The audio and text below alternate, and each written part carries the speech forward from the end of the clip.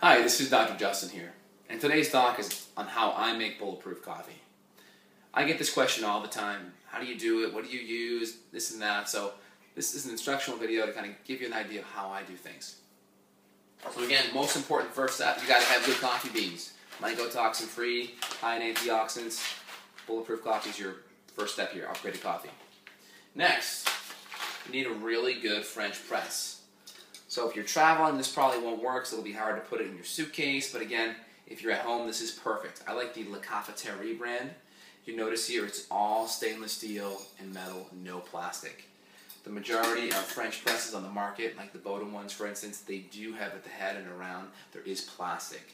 I spent hours and hours and hours searching, and this is the only one that I can find. So for everything I mentioned, I'll put links in the description of the video so you can have easy access to where to find these as well. So again, La Cafetière, I like the 12 cup. Gives you just enough so if you're with two or three people, you have enough to share. First step. after that, really good coffee grinder. We want to use whole beans because the whole beans are going to preserve the bean better, better antioxidants, and it's going to taste a lot better too. So the Krups coffee blender or coffee grinder is going to be the best way to go. Then when we're actually blending the coffee, you want to use a good blender. And a lot of blenders, just like with the French press, have a lot of plastic parts. So you got to make sure you get a really good blender that has glass around it. Remember, the different plastics, if we use hot water, it's going to liberate a lot of different chemicals, whether it be PCBs or BPAs or phthalates, and that's going to go into our coffee and make our coffee not so bulletproof. All right, so first step, we're going to grab a couple of scoops of coffee beans. We do about 10 to 12 ounces of of coffee in my mug in the morning. So I like to do about two scoops. About 10 seconds is usually what you want to do to get it nice and, and clean.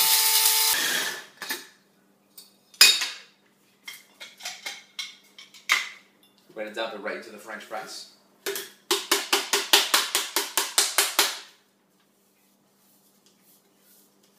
Before you swipe it out, make sure it's unplugged too.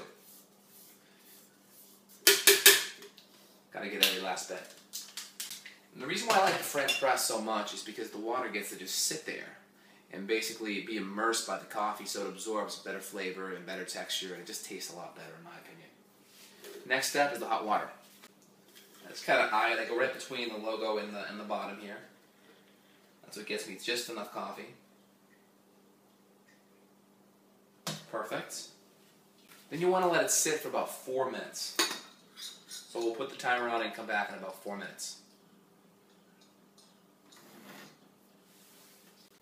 Alright, we're back. It's been four minutes. Our coffee is ready to, to brew up here. So the next step is we got to grab our blender. Make sure it's glass. We're to take our coffee and we're to pour it right into the blender. Just like so. Perfect. And the next step is we got to add high quality butter. So I'm a big fan of the Kerrygold unsalted butter. I do about two to three tablespoons at least. And you know how much it is because there's a little grit on the back here. So Kerrygold butter is the best way to go. We're going to add that right to the coffee and blend it up. Butter right there. And then we can also add a little bit of MCT oil. Now this stuff's really good. Some people are more sensitive to it. I only can do about one tablespoon. Once I get over that level, it starts to upset my stomach. So if you can't do it, you can always switch over to coconut oil, but a lot of good neurological benefits with this MCT. So just a little bit for me. And that's it. And then outside of that, we also can do some high quality chocolate cacao powder or vanilla extract. You can see here. I usually rotate between the two. It kind of mixes up the flavor of the day, so to speak. So we'll do some chocolate today. All right, now we're going to blend it all up.